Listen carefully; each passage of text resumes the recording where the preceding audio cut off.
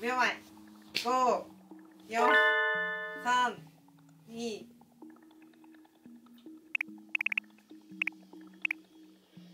起きるんだ。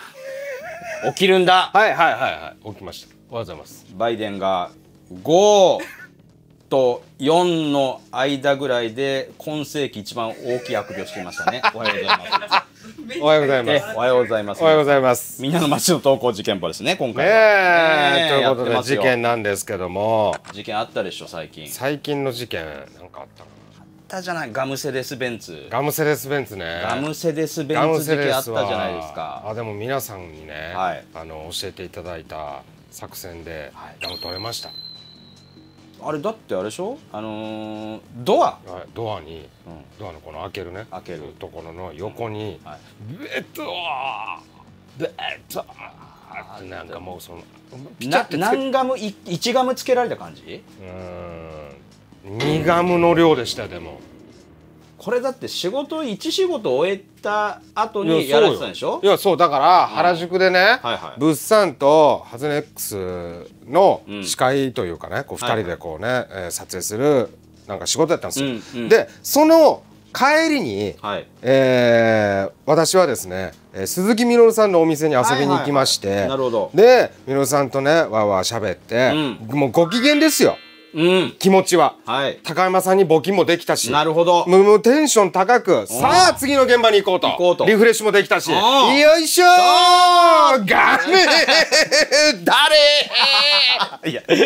これはだから完全にあいい車乗っとるやないか。腹立つ。こいつ金稼いでんだろうな。くちゃくちゃくちゃって言ってペーってつけて「うバイバイ」って言ってですよームカつくわムカつくわーみのるさんいやいや締め落としていや俺ね逆落としされそういや俺ねでもね、ええそれあったでしょはい2日前ぐらいですよ俺も自分の家着いてさああ玄関がやけにネチョネチョするんですよと思ったら俺のサンダルめちゃくちゃガム踏んでて俺のマイカー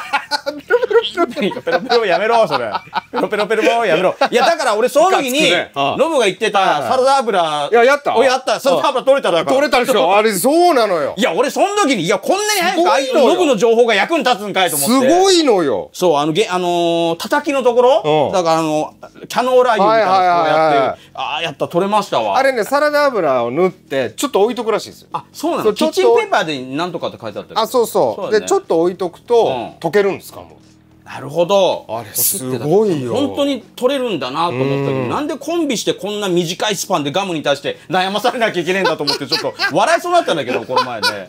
いや本当にね大変でしたよ、ええええええまあそんな事件なんですけどもありながらも、はい。ゆかりさんからいただきましたゆかりさん。えー、ちょっと待ってねうん。はい、えー、78年前なんですけども、はい。娘がですね小1か小2、うん。まあどっちかでしたと、えー秋口です。学校から帰ってきました、うん。特に変わった様子もなくていつも通りね、うん。普通に過ごしたんですけどもうん。2日過ぎたあたりにうん。ママ実はね一昨日さ学校から帰ってる途中にねうん。突然グイッと腕を引っ張られたの。うん。誰に？帽子にサングラスにマスクつけてる多分男性。怪しいね。でなんかねこの家はあのー広くて人も車もたくさん通る道路に面した駐車場の後ろにあるので車が止まってると目立たないんですって。そうなんだ。はい、えー娘は驚きながらもうん。どうしようってなった瞬間に股間を蹴り上げたらしいですよ。うわであっってなった瞬間にうまく逃げこ逃げてこれたと。すごいね。ママが教えてくれた通り男の人ってチンチン蹴るとやっつけられるねって言ってたんです、うん、なるほど。でも怖かったからいやー。2日間言い出せなかったと。うわーこのその2日間がなんかかわいそうだな。でもね自分が教えたこと本当に実践して逃げ切ってくるとはすごいなと。でもまあ無事だったとはいえね、はい。そんなやつうろついてるの怖いじゃないですか。だからね。交番行ってね、うん、警察官に話しましたすると近くの警察署に連絡されてパトカーで迎えに来られドラマで見るような取り調べ室で警察に細かく話を聞かれまして、なるほど。で後に娘の書いた似顔絵が印刷されて、ん。近隣の学校集合自宅の掲示板などにこうねあ貼られるようになって。貼られて、でそのお股間を蹴り上げて、はい。ね、逃げたっていう噂が学校に広まって、うん。学校のクラスメートの男子からね、恐れられたらしいです。そうなんだ。はい、あいつは蹴ってくるぜうみたいな。ーん。あその後の捜査被告、えー捜査報告はなかったんですけども、はいはいはい。えー被害の報告もありませんでしたと。あなるほど。そんなお話ですね。その幼さにしてお母さんの言ったことを、はい。えー実行。はい。で男性にそんな風になってる時なかなかすくんじゃってできないと思うけどね。いやそうよね、うん、すごいなと思う。でその例えばねそのなんだろう取り調べとかでいろいろ話したことっていうのが掲示板に貼り出されて、うん。別にそれで捕まったわけではないけれども、うん、抑止力になるから、まあそうね。そうだからその例えば電車の中とかで痴漢逮捕、ご協力感謝ですっていう、うん。逮捕されてないけどそういうのが出ると痴漢って減るらしい、ううん。ーん。そういうのが出ただけで多分周りの痴漢っていうのはきっとねゆかりさんの娘さんのおかげで減ったと思います。まあそうですね、うん続きまして、はい。クリオニャンコさんがいただきました。ありがとうございます。えー、25年前なんですけども、うん。えー当時ですね、えー主人はですね、ん。えー量販店で働いてましたと。ほで、えー店の前でおじさんがですね、うん。なんか怒鳴ってやってきたらしいんですよ。で主人が入り口で対応したんですけどはも、あはあはなんかすげえキレてると。うん。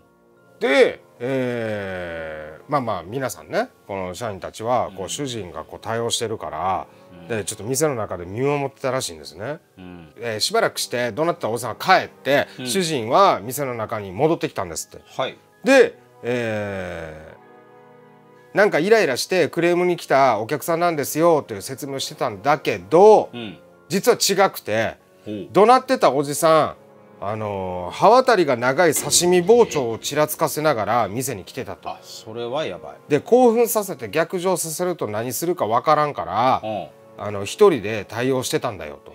説得して。はい。で聞いたらね板前さんだったんだけども首切られてねやけになったと。で初めは誰でもいいから刺してやろうと思ってたらしいんですけどもはい。まあご主人がねこのおじさんに寄り添ってうん。で仕事道具である大事な包丁をそんなことに使うのはどうなんですかっていうね説得の仕方をして。うん。まだまだあなたは働ける。すげえな。は仕事ができるんだからうん諦めてはいけないと。い。そしたらおじさんが包丁を収めてねうん「そうだよな。ごめんな。ありがとう」つって。帰っていってその後板前として働きますと、ほう。うん、主人に約束して帰ったんだすそうなんだ。ごいじゃないですかいやご主人の冷静さたるやです。よ本当にね。そんな状況になって説得まあ説得はするだろうけど落ち着いて解き伏せることができるかって言われたら結構難しいと思うけどね。包丁持ってくるんです。ああちょちょちょっと待って待って待って待って。ちょちょちょちょっと待って。え？待って待って待って何ペロペロペロペロペロ3回はやめろ3回は。3回はやめろ深かったぞ今最後いやこっちもペロペロペロはまずかったけど。躊躇なかったじゃないですか。怖っ。ダメ説得してダメですか？いやそう説得しなきゃダメだったけど、でもそんなふうに来られたらだってそれ難しいでしょだって。めちゃくちゃ怖いでしょいや怖いよ今の状況でこの距離で刺身包丁ですああ怖い怖い怖い怖い怖い。ほいやいやいやいやいやいやこのマグロお願いします。いやいやいやいやいやいや深いんだって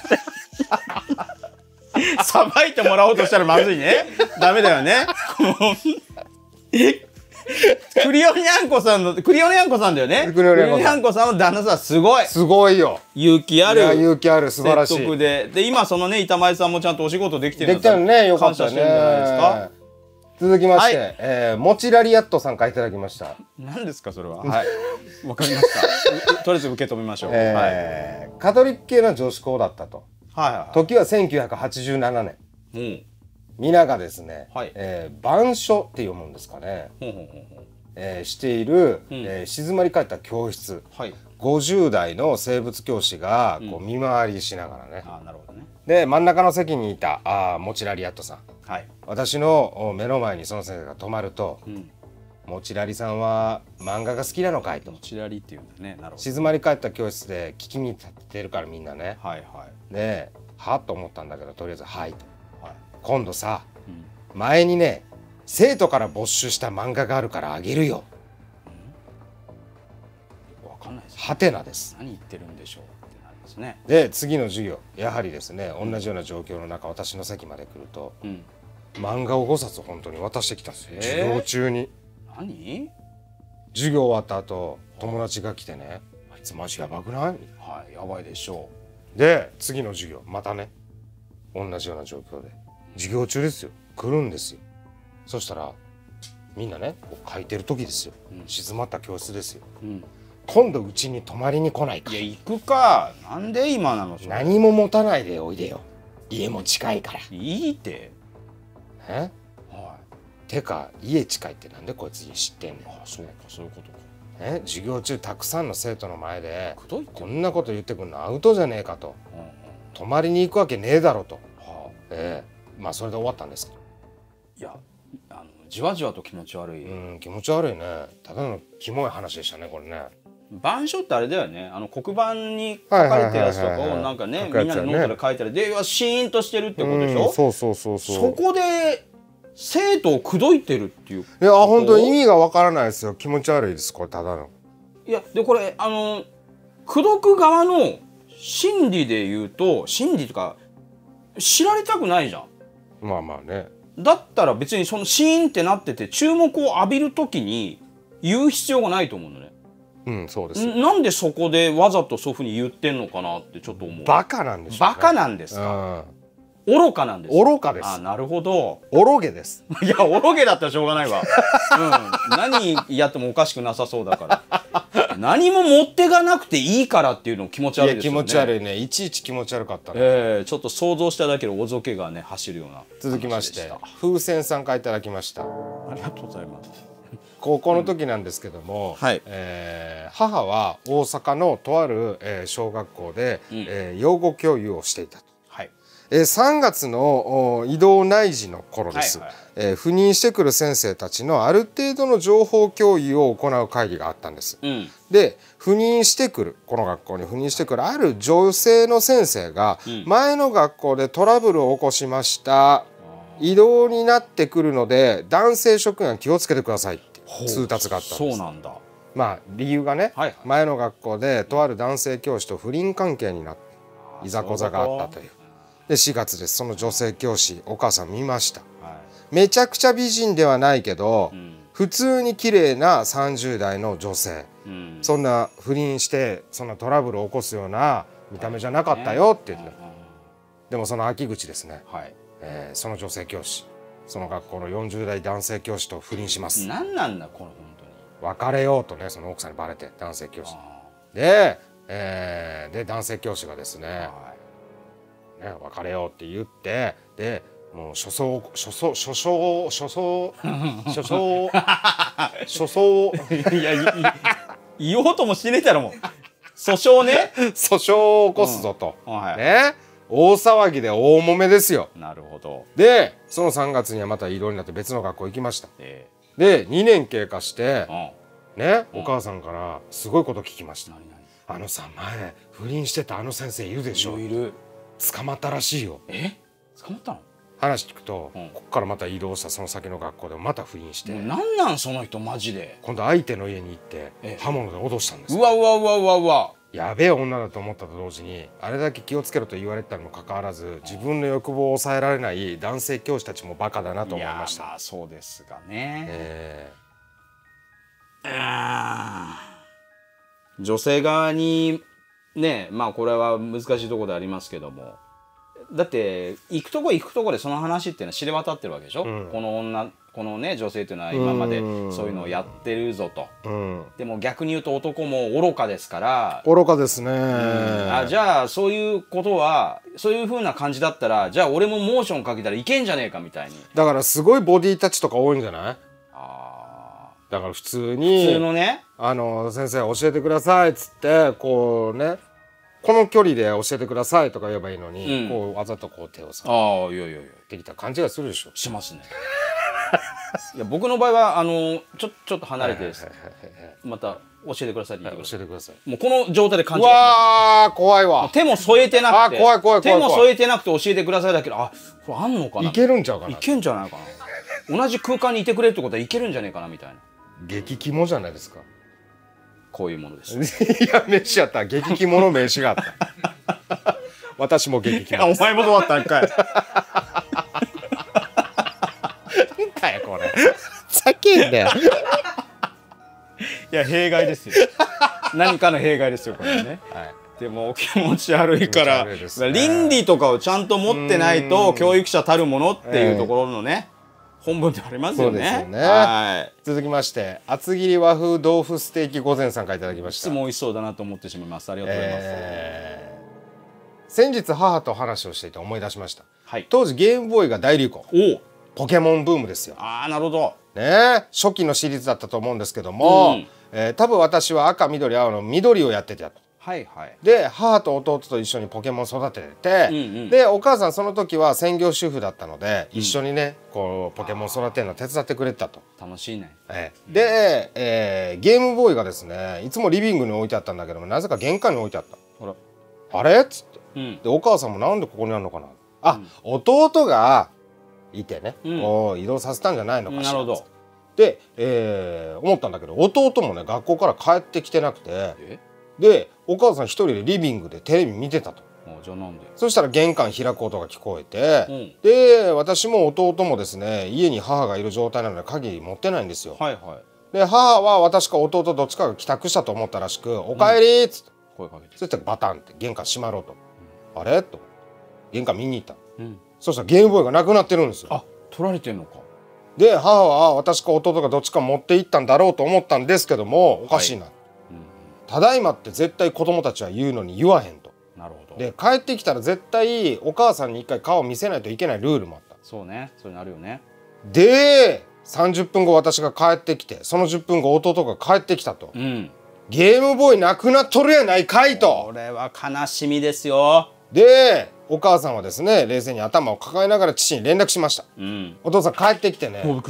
あ俺の怒りです。あーすごっでサイコキネシスみたいな。お母さんがですね、お父さんに怒られる羽目になってしまって。えー、かわいそうだなそれもそれで。でもう夫婦喧嘩に発展しちゃって。お前の管理があれだからってところ、まあでも、ん。まあ亡くなった子供ってかわいそうやからもちろん。新しいゲームボーイを買ってもらうことになったんですけどでもお母さん、はい。ある程度犯人の見当はついていた。いやついてんのかいでも面倒くさい相手で悪い噂が絶えない相手だったそうで犯人は私は知らないんです。はあ。もちろん警察にも言ってないんです。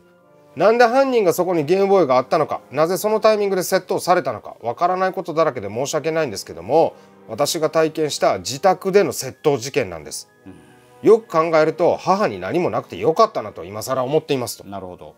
みなうんはい。っていう感じですね。取った人が目星ついてるっていうことは近所のやつでしょでね評判良くない。癖が悪い方がいるんでしょう、いろんな家で盗まれてるね噂入ってきたと思いますよ。でもそいつもよく取ったね。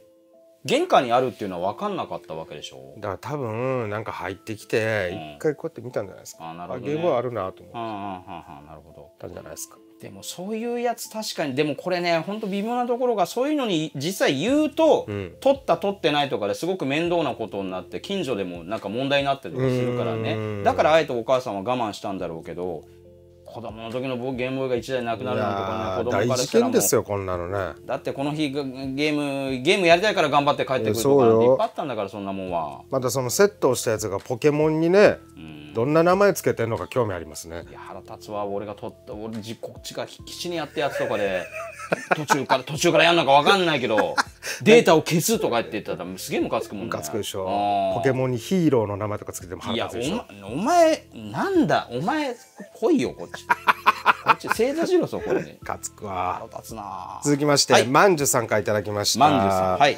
えーある年の12月、えー昼休みでした、はい。えーいい天気外はね、で、えー冬なんですけども駐車場に止めた車の中があったかくてですね、うん。えー昼寝してたんです。そしたら携帯電話が鳴ります、う。んえー画面には自宅って書かれてうん。出てもしもしお母さんなんですよ。はいはい。あんた今会社にいるよね、うんいるよやっぱり。今ねお宅の息子さんが交通事故を起こしたって警察から連絡があったのよ出た。ね。こういうやつ出た。えー、っつって。おおでそのお電話の状況なんですけどもプルルプルルってね家の電話が鳴って「もしもし?」って出たらうん「えー、ああ〇〇さんのお宅ですか?」って「はいそうですが」うん。こちら横浜の港南警察署の交通管理課の山本ですけどもお宅の息子さん名前は〇〇うん〇〇さんと読むのかな、えー横浜で交通事故起こしましてね。で私の名前は特殊な読み方をするので知ってる人じゃないと一発絶対読めないんですと。はい。えーでもし実際に私が事故を起こしたのだとしたら名前を警察が読めないはずがないと。そうだね。で、えーその偽警官間違えてたんです名前をねなるほど。だからお母さん一発で気づいてね、はいはいおかしいと。うん。で続き聞いたんです。はい。そしたらあーまあまあお母さんからね、うん。息子が事故ですか？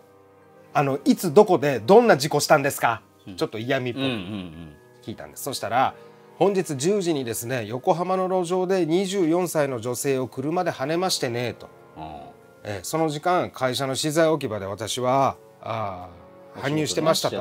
ね。うん。え女性を？つって、うん。でその女性どうなったんですか？幸い命に別状はないんですけどね、えーその女性今回の件に関しては示談で済ませたいとおっしゃっておられましてはその女性近くにいるので変わります。あいやこういうなんだよ本当に。車で跳ねられて、うん。警察沙汰にもなっていると、うん電話口に出れるわけないでしょうと、渋滞なんじゃないえの重症とか。えーでああそんなことより息子は近くにいますか？はいはい。ああえっ、と息子さん気が動転しているらしく今ちょっと電話に出れないみたいなんです。ね。で、うん。えー後ろでですねはい誰かが自分のふりしてるんですようわーごめんなさいごめんなさいみたいな。何人かでやってるんですはかこれ。なるほど。で、えー、あそうなんですねってじゃあ息子の携帯電話に直接かけて聞いてみますね。あ。ーあいやあの携帯募集してますんで出れない。いやいやいやプツーっておばさん切ったんです。なるほど。で1分ほど待ってみたけども電話がかかってこないのでこれは確実に詐欺だと。はいはいははい。い。えーで振り込め詐欺もおーまあ私の母には聞きませんでしたと。なるほどね。そんなお話ですね。こういうのはねでも本当に数人で分けて配役振り分けてやるっていうのはよく聞きますよね、うんうんうんだってうちもまあまあ母存命の時に何回もかかってきてかます。かってきました、うん、なんかその書類をなくした、うんうんで会社に不利益を与えた、うん。から、えー数百万を払ってくれる、えだっておお俺の名前でそれやってんー、だよ、はいはいはい。書類をなくしたって別に俺その頃ってノブともまだ組む前だったから別にアルバイトしかしてないし、うん。たまにライブとか出てるぐらいだから、うん。それで損益を与えて何百万とかなんてすぐおかしいってそんな分かったって言いますよね。ねうん。仕事がやってるものと俺のやってることを分かってからやれと。そうね、ライブで滑ってお客さんが死んだとか、うん、具体的にね。具体的にね 滑りすぎてるのを見てお客様がもう泡吹いて。泡吹いて倒れたと。その損害賠償を求めるとかだったらね大ファンや大ファン。確かにうちの息子ならありありえるかお前。なんでうちの息子だってありえるんだお前それは。あんたが滑って、はい。お客さんが泡吹いて失神すんでったらものすごいファンよね。そうだね。ショックすぎてでしょ。ロジックが滑ってる。ロジックがわけわかんなくなってるけどちゃんと仕事を分かった上で だてか騙すなまず。騙しちゃダメですよ本当にこれは。続きましてはいしのしのさんです、はい。えー、私のトラウマ聞いてください。トラウマ。私が中学校に入って、ん。大体の学校は教科によって担当の教師が入れ替わっていたかと思うんですけども、はいはいはえー私、えー英語のお教師がとても怖かったんですと。いうんうん。もう生徒がちょっとでもふざけたりすると怒鳴り散らかすし怖いね。もうその成績以降あからさまにひいきするみたいな。嫌ですね。でテストをね返す時もですよ。一つずつ名前読んでわざわざこうね呼ばれた生徒ねそのテストをもらいに行くんですって。うんうんうん。で成績悪かった子とかに「ほれああこれはひどいね。ね。ひどいよ。で点数が良かった生徒には「まるさんはいつも頑張っているね98点。惜しい!言うんかいちゃんと。みたいな。マジか」うん、で私は「ほれ」の方でした。あほら、はい持ってけ。お前みたいなもんはみたいな。ねでその先生なんですけどもいつも香水が臭いし大嫌いでしたと、はいはい。そんなある日その英語の時間ですね、後ろの席の女の子が消しゴムを落としてですねほう。拾うこともできないけど消しゴムを使いたいらしかったので、あはい。えー消しゴム貸してって言ってきたと。うん。でも私も使ってるからついちらっと後ろを振り向いて「ちょっと待ってて」とこそっと言ったら教師が切れてですね「ねおいうるせえなお前」って何後ろ向いてんだおいブスええでその日家に帰っても時代が時代なので自分が悪いと言われるだけだと思ってですね親にも言えずに。うん。でも悔しくて悲しくて布団が絞れるぐらい泣きましたと。悲しかったねえ。ーん。であの時のあの教師の顔あの教師の言葉は今でもはっきり覚えています。ムカつくと。容姿のことまで言ったわけでしょ、うん。だからその「おいお前今カンニングしそうだったろしてたろとかね。だったのかなと思ったけどそれはねえそんなこと言う必要ないじゃんね。ないないない。おいうん。ブス。いやひどいよこれは。ひどいですよ。ね僕らももう結構言葉の暴力にはだいぶ慣れてきてしまったところありますけどね、えーだからいやだから中学校の時にね、こんなこと言われたらすごいトラウマだと思いますけど。いやそうですね。ねえもう本当にすごいじゃないですか、えーバリ雑言ね。バリ雑言、ええ。だからそういう今のこの体制をこの時のしのしのさんに分けて分けてあげたいいね。そうもう,、もうねそう愚かなものには、え愚かなんだから、ええこの人はね。そうそうそうそう。煩わしこっちこっちの人生もうえでも関係ない言うてるの方言うてる方はねのうのうと生きてますよ、それがまた腹立つじゃんなんか、うん、言ったことさえ覚えてないんじゃないですか。でそういうやつに限ってちょっと長生きしたりするでしょ。あするでしょ。何それ？どどういうこと？ええって思う。もん。公平であれよなんか。悪いことやってきたんだ。まあね。ちょっと早めにしろとかなれやそれは。なんで我慢してるやつは早死にしなきゃいけないのめちゃくちゃ早い子早口。いや本当にそれ僕は憤ってるんですよそういうことに関してはね。ね。バランスは続きまして、はい。昔バリバリのバリコさんからいただきました。今は何なんでしょうね、えー小学校1年生の時なんですけども、はい。読売ランドの近くに住んでいました。で、えーテレビ番組の撮影とかね、はい。グラビア撮影とかで結構タレントが来てたと。なるほどでその日学校の帰り道ねいつも通り神社の前を通ると大型の車が止まってましてロケかなと思ったんですって、うん。そしてランドセルを背中に神社の中に興味本位で、えー見に入ってみると、ん。えー私が大好きなテレビ番組「稲妻」のロケをしていてで嬉しくてしばらく見てると、はい。そのロケ隊のスタッフの一人が手招きしてくると。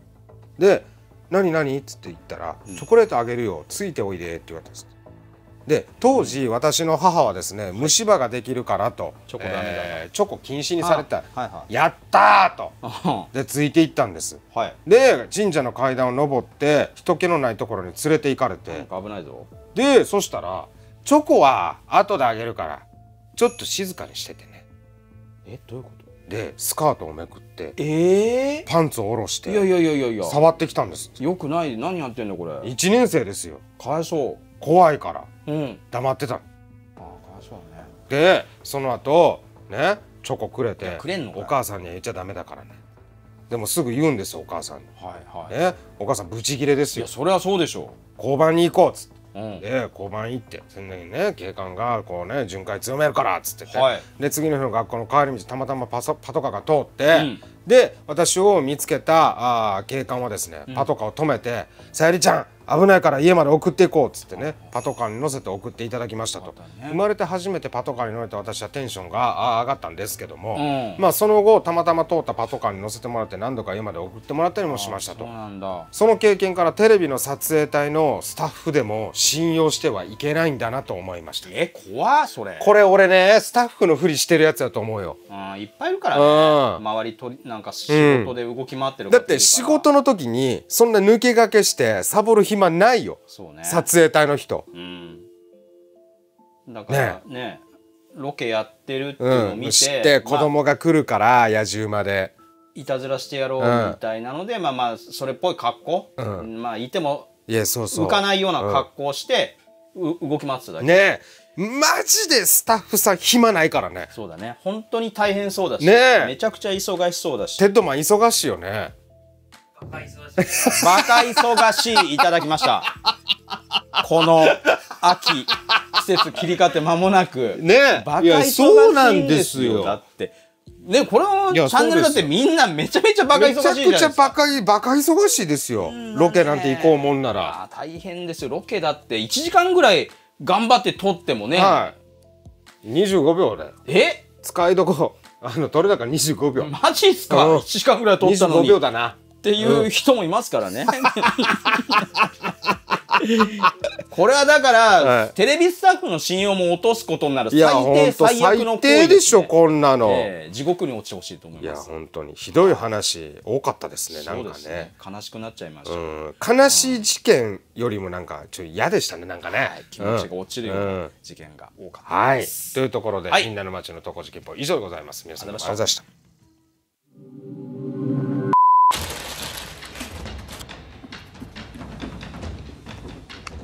では続いての次の投稿会談投稿会談です。これ怖いよね。めっちゃ怖いじゃん。いいですね。いいですね。面白いな、やっぱ。面白いな。良きですね。